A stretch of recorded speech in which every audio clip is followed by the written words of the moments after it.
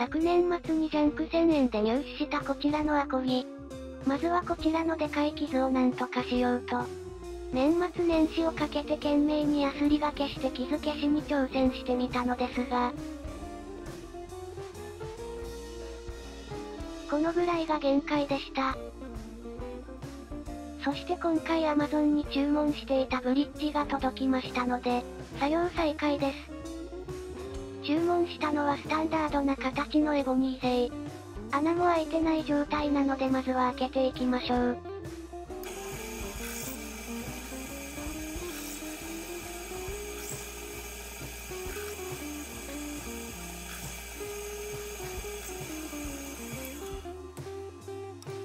あとはブリッジを接着すればいいだけなのですが、このギター塗装の上からブリッジを接着していました。これでは十分な接着力を発揮できません。なのでブリッジの形に合わせて塗装を剥ぐことにします。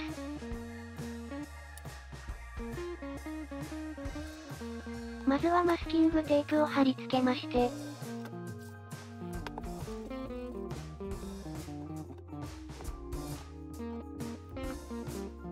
ブリッジピンを利用して場所決め、仮置きします。ブリッジの形に合わせてテープを切ります。この時結構深めに刃を入れるようにします。塗装面にも切れ込みを入れて綺麗に剥がせるようにしたいわけです。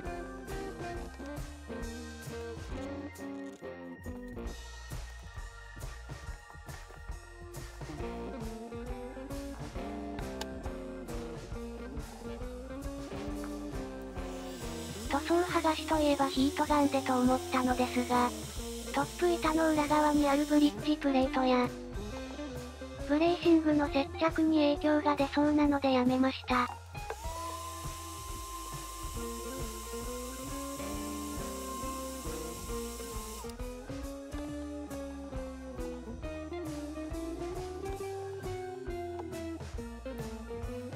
結局ミニルーターに砥石をつけて塗装面だけを削り取る方法に変更。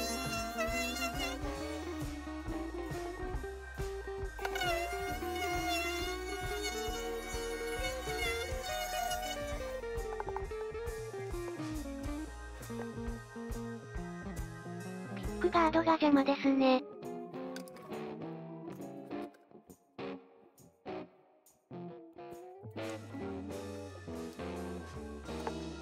ルーターベースの裏側にピックを1枚貼り付けて、傾かないようにしました。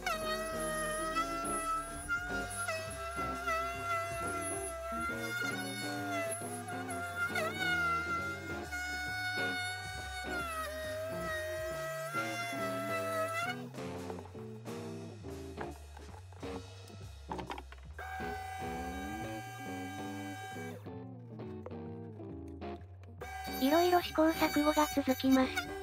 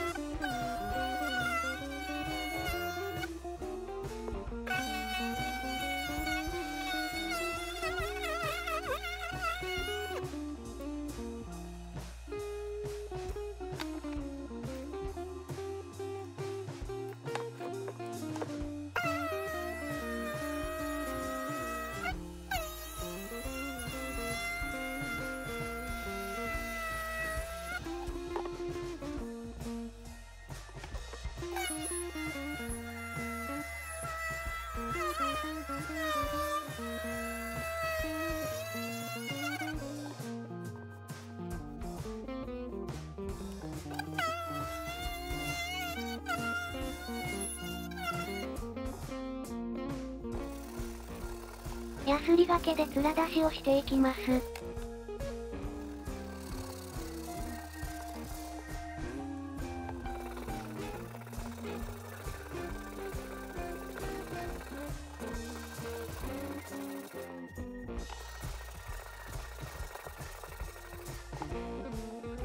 最終的には縁の部分をのみで仕上げました。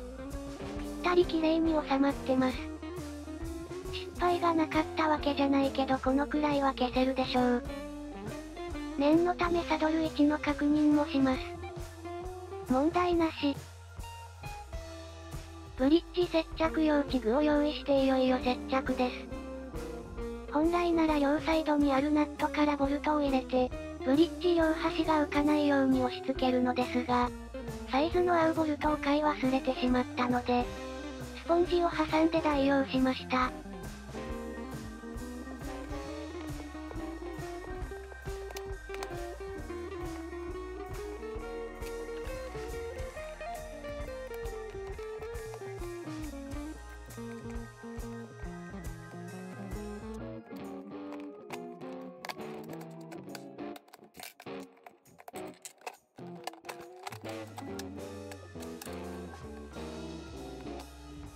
バッチリがっちり取り付け完了。さてあとは弦を張って、いやまだです。バックにこんな感じの剥がれがあります。ボンドをつけてがっちり押さえれば簡単に治りそうですが、問題はどうやってボンドを入れるかです。脳内シミュレーションを繰り返した結果、水で薄めたボンドをシリンジに入れて注入すればいけるだろうと、早速ダイソーで買ってきました。隙間を広げてなるべく奥まで届くよう注入。なかなかうまく入っていきませんが、とりあえず用意したボンドは使い切るくらい入れました。あとはもう紙に祈りつつ乾燥を待つだけ。しっかり接着できてます。今度こそ弦を張っていきましょう。サドルを用意いたしまして、ナット材をネックの幅に合わせて切り出します。溝の角度に合わせて削ります。削った粉は修正用に集めて保管します。いやマジでただの牛骨の粉ですから。末端価格いくらのヤバい粉とかじゃないですから。それでは最後の難関、ナットの溝掘りです。引き心地を左右するパーツですので慎重に削ります。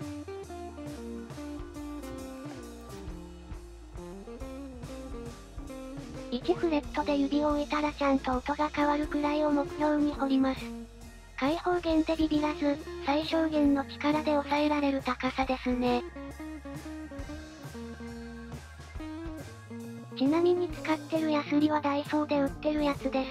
以前買ったナットファイルよりも圧倒的に使いやすくて、こちらを愛用しています。1弦と2弦はノコギリで溝を切ります。ヤスリよりも慎重さが求められます。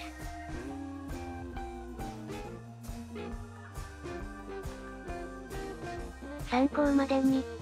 6弦がかなり攻めた溝で5弦はまだ仮の溝です。6弦と1フレットの隙間はこのくらいです。すべての溝を掘り終えたらチューニングして、完成。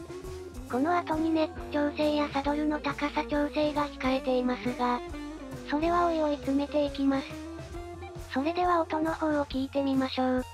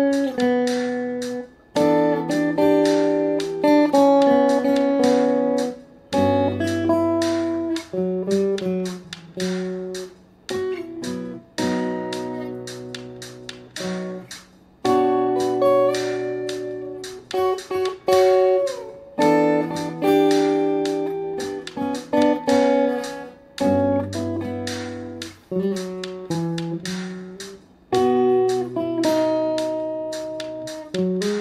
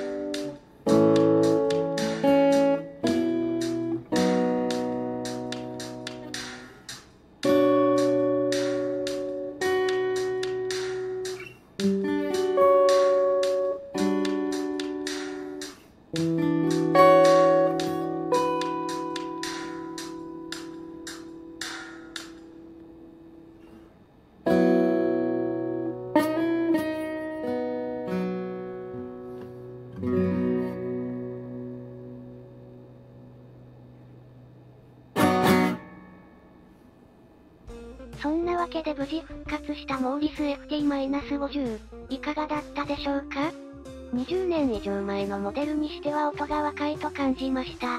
しっかり引き込まれる前に壊れて放置されてしまったのではないか。なんてことを予想しています。なんだかんだ言ってもトップは単板ですので、引き込んでいくとかなり育ちそうな可能性を感じます。将来が楽しみな一本になりました。といったところで今回はここまで。また次のジャンクでお会いしましょう。